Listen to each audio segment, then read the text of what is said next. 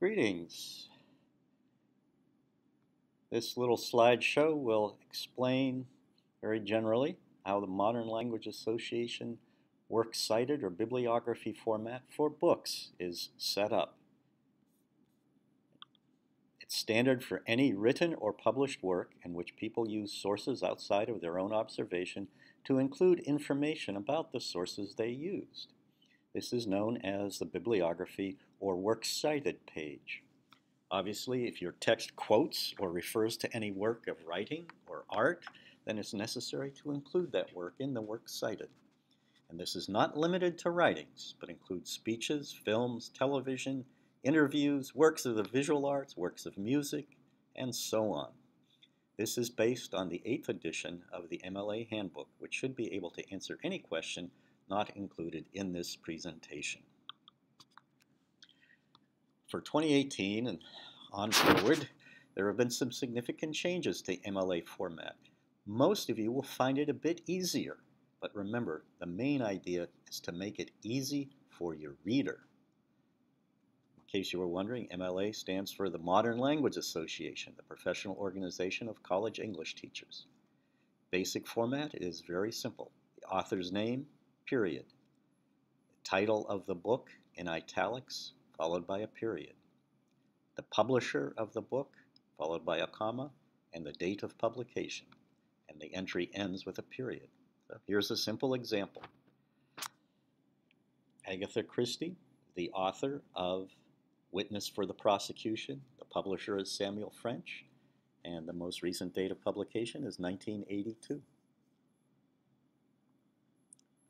Now, you may have noticed for most Western authors, the family name is followed by a comma and then the author's first name. We always start with the family name. So in the case of Agatha Christie, it would be Christie, comma, Agatha.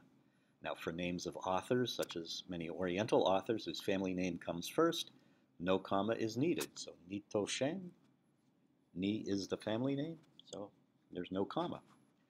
For two or more authors, only the first author listed has the names reversed.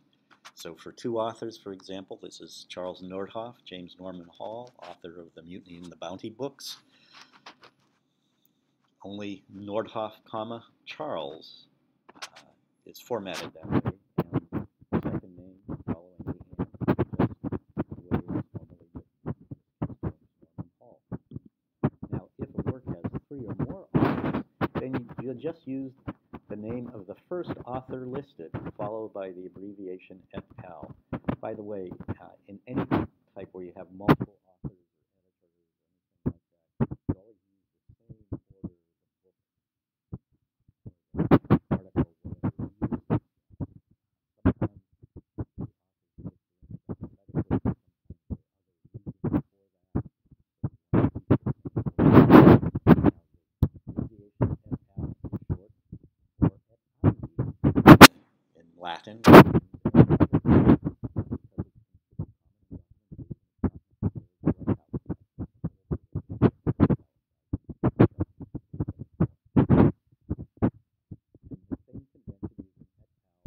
period.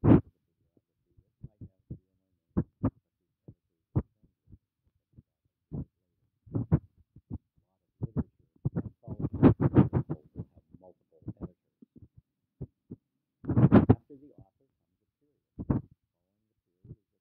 Book titles are italicized. Now, if you're writing by hand or using a typewriter, underlining is equivalent to italics. But nowadays with computers, italics has become kind of standard, and a lot of times underlining means something else. Now, subtitles are separated by the uh, from the title by a colon, and they are also italicized. So Here's just simple author and title, Charles Dickens, Great Expectations. Again, Dickens, comma, Charles, period, Great Expectations. Now, in the case of Ben Hur, Ben Hur, subtitle, we'd have the author, Ben Hur, followed by the colon, and then Tale of the Christ. Would also be italics, and bibliographical purposes is treated as part of the title.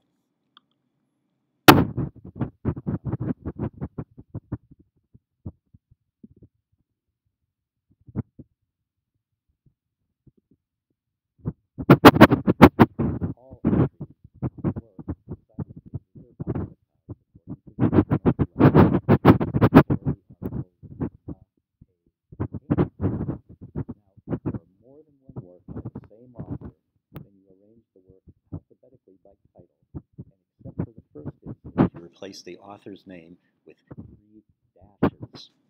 So, for example, let's say your uh, book, your paper, uh, quoted from both Great Expectations and A Tale of Two Cities. The first entry would have the complete bibliographical entry as always. The second entry, you wouldn't repeat the author's name. You would just have the three dashes. And so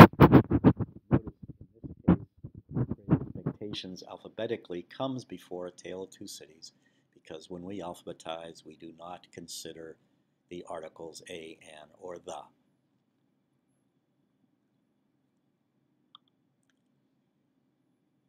Now, followed, following the title is the publisher. And for uh, basic book entry, a period follows the title or subtitle, and it, uh, it's not necessary anymore, something new, to include the city of publication. Thanks to the computer, the internet, various online booksellers and databases, MLA no longer deemed it necessary to include the city of publication. They do have make some exceptions for some works published before the 20th century, and if you're concerned about that, you can take a look uh, in the MLA handbook. I'm not going into that here. Notice that, uh, as always, if the entry goes into the second line, each line after the first line is indented. It's the precisely the opposite of paragraphing. Paragraphing, you indent the first line, and the subsequent lines go to the margin. In a bibliography entry, works cited page, it's the opposite. The first line goes to the margin, and any subsequent lines are indented. Most word processors call this hanging indentation. If you go to the paragraph format, you'll usually see hanging indentation, and uh, the standard is either half an inch or an inch to indent. Whichever way you choose, be consistent. Now for basic book entry, uh, as I said, the period follows the title or subtitle. Uh, for the publisher, you don't have to include the corporate titles or abbreviations such as publisher, company, Inc., corp, etc. Now for college publishers, you use U for university and P for press and UP for university press. These are all capital letters. So simple examples. Paradigm Publishing becomes just simply Paradigm. Harper Brothers and Company becomes simply Harper. Uh, University of Pennsylvania Press becomes U of Pennsylvania P. Yale University Press becomes Yale UP. Now, occasionally, you'll see um, that a publisher will be listed as a division of another publisher. In that case, you use the name of the division. So this book, Every Man's Battle, uh, says on the title page, published by Waterbrook Press, a division of Random House. Okay, so uh, we would write Waterbrook rather than Random House. Occasionally, there are two separate publishers. This is unusual, but does happen with special editions. Sometimes happens with uh, religious works, that kind of thing. So uh, this happens with, for example, this New International Version of the Bible. Uh, so uh, in that case, you name both publishers and you separate them with the virgule what is sometimes called the slant bar or the forward slash. But the, virgule is the term grammarians use. Following the publisher is a comma and then the date of publication. And use the most recent date of publication or copyright you can find in the work. And the date ends the basic entry. Sometimes other things may be added, but it's pretty rare always use Arabic numerals, everyday numbers. Hollywood especially likes to use Roman numerals, but translate them into Arabic numerals first. Again, you make it easy for the reader. Okay, so, okay, you have an, uh, a film, and let's say the copyright on the film is, you know, MMXI. Well, okay, translate that into 2011 for the reader. Okay, so no Roman numerals in the bibliography unless it's part of the title. For example, the uh, Agatha Christie play mentioned earlier lists three copyright dates, 1933, 1948, and 1982. There are no other dates listed, even though we just performed this play a few years ago, uh, and I'm sure that the uh, particular copy was printed long after 1982, but 1982 is the most recent copyright date, so that's the date we use. Now, the abbreviation N period D period used to signify no date. This was rare and would mostly apply to older works published before there were copyright laws or privately written pieces like undated tracts or letters. Normally you can find a date. Unfortunately, online citation machines like LazyBib and Frustration Machine often use this because, well, they're not humans and they don't think like people. If you rely on these applications, please edit the entries and get rid of things like ND or NP, which means no publisher, same idea, you can almost always find the publisher. And it does appear that the 8th edition of the MLA Handbook no longer uses these abbreviations, so you should avoid them. Now, if the book has other contributors, such as translators or editors, these normally follow the book title. There used to be some abbreviations, but now write out translated by or edited by, followed by the name or the names. And these normally end with a comma. So here's a copy of Homer's Odyssey that uh, use in some of our classes. So you have the author's name, the title of the book, translated by E.V. Rieu and D.C.H. Rieu, comma, publisher, date. Same with editors. So here's edition of Idylls of the King that we use. Uh, and notice there's an editor after the title, edited by J.M. Gray. Now, if the author is truly unknown, their work is anonymous, then you start with the title of the book. And this is especially true of older works, many, but also many times articles and reference works or web pages do list the authors elsewhere but some entries to reference works may also be anonymous. News articles from wire services will often have no byline, so no author name is given there. So here's a case of an anonymous work, the Epic of Gilgamesh, okay, written in ancient Babylon. None of the records told us who wrote it or who recorded it or anything, so we just start with the title, the Epic of Gilgamesh. And remember, since the uh, word the doesn't count. If we're alphabetizing this, it comes alphabetized according to the word epic. Okay, and, uh, and there is no author, so it starts with the title. Notice there is a translator uh, translating it from the uh, cuneiform, I guess, um, translated by Andrew George. Now, sometimes a book, uh, also true of web pages, is written by a committee or a government agency or a corporation. If a government agency, then you begin with the highest level. So here are a couple of uh, books, one written by the National Rifle Association, okay, uh, Step-by-Step Guide to Gun Safety. So uh, there's no uh, specific author given, it's put out by this organization, so that's how it would uh, be stated. Uh, is also true of a lot of government documents, in this case, uh, New York State Committee on State Prisons. Um, by the way, in this one, I, I, do note the original publication date, um, which can be helpful in a case like this because it lets the reader know that this was a report done in 1883, uh, even though it was reprinted 90 years later. So we're not thinking that it's a investigation done in the 70s, for example. Now, if the agency or corporation is both the author and the publisher, then you begin with the title and treat the publisher in the normal, normal manner. So, for example, the MLA handbook itself is published by the Modern Language Association.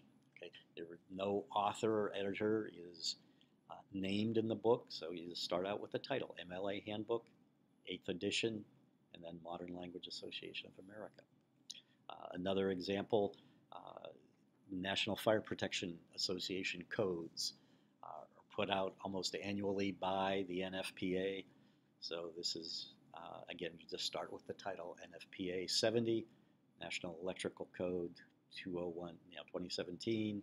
National Fire Protection Association is both the author and the publisher. That way you don't have to duplicate anything, too.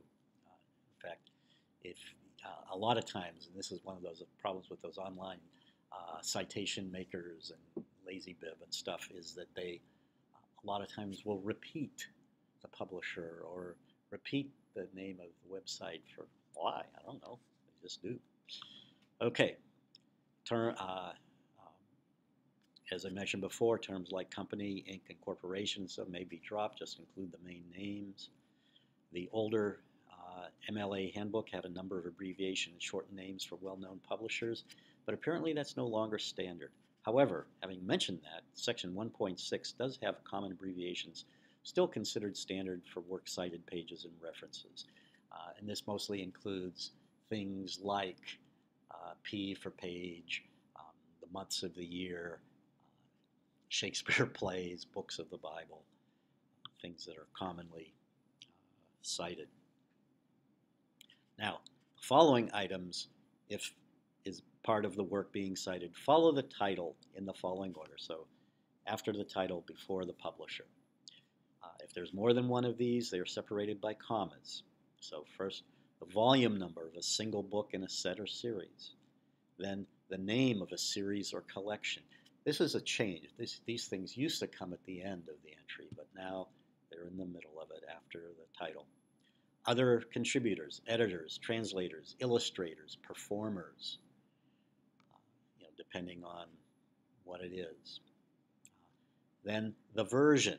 This includes revisions and translations, so it might be things like second edition, revised edition, uh, you know, different translations like New International Version, and so on followed by the number, usually a volume number, uh, but sometimes a season or episode. Uh, um, for periodicals, this may include volume and number. Um, so, here's a simple example. Where, where am I? There we go. Uh, the name of the series uh, used to be at the end. Now it's after the title. So, for example, C.S. Lewis, The Last Battles from the Chronicles of Narnia. Uh, and that follows the uh, title.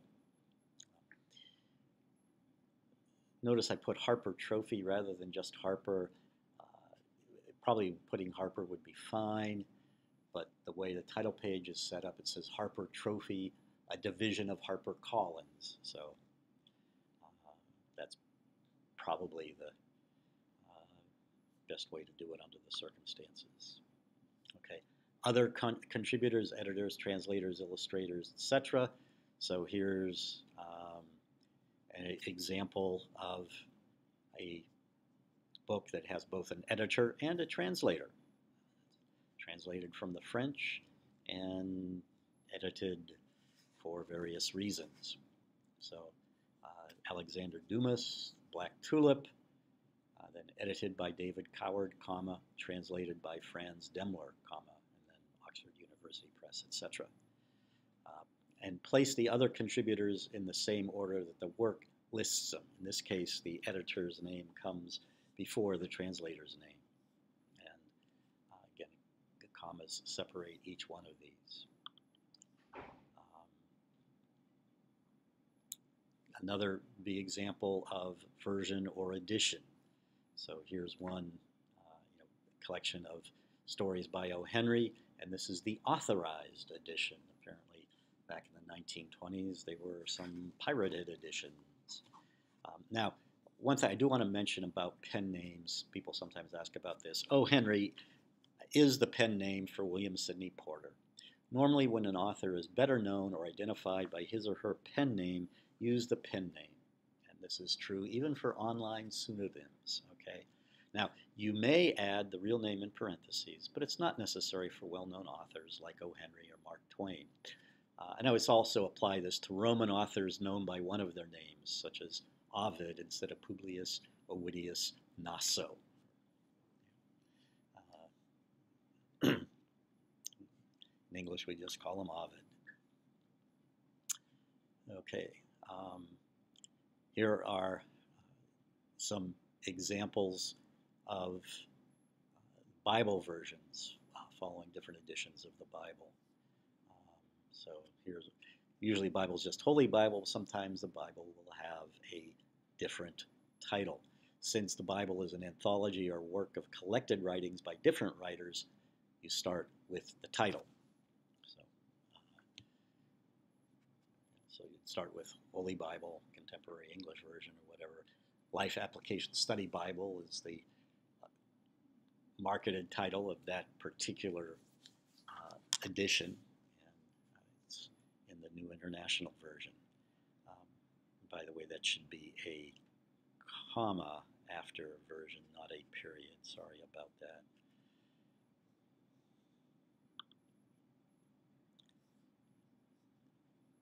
Here's one. Uh, students uh, in my school have been using this uh, grammar book for a couple of years.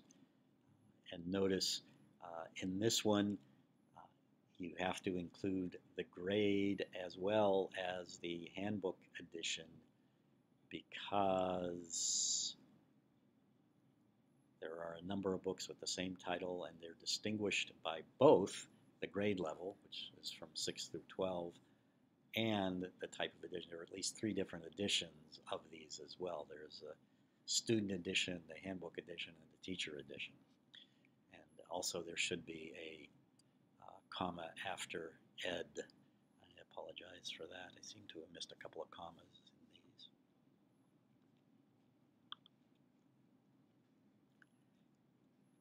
And then uh, number, volume number. So here we have Anthology of American Literature, editor's name, volume one.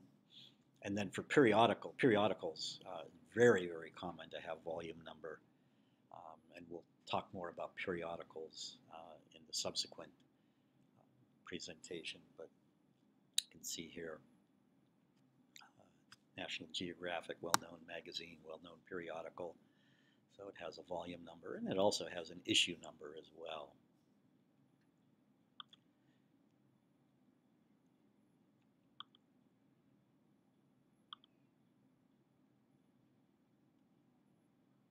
Whoa. Seem to have gotten out of place again. There we go. Okay, if you used all the volumes in a multi-volume set, indicate that by writing the number of the volumes in the set followed by uh, VOLS, abbreviation for volumes, after the period after the date. This is one thing that does follow the publication date. And also notice uh, in your MLA handbook, uh, page 52 has some other specialized items that may follow the date. So here's one. Uh, there's a version of the Count of Monte Cristo um, that was published in four volumes. Um, it's the unabridged bilingual edition. You would want to include that. Uh, and um, it doesn't give us the name of the translator, so uh, even though it is a bilingual edition. So anyway, this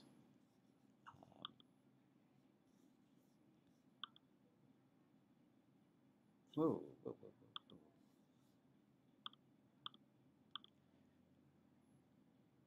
this is the first presentation. This basically tells you uh, everything you need to know about uh, book bibliographies, plus a lot of other things that are helpful in terms of uh, you know which publisher and you know how to do authors and editors and that sort of thing. But the second presentation which we'll be doing, tells how to do bibliographies for articles and web pages uh, with some special information, including interviews, works of art, and other things like that. Anyway, hope, hopefully this has helped you, and uh, you'll be able to apply these uh, very shortly.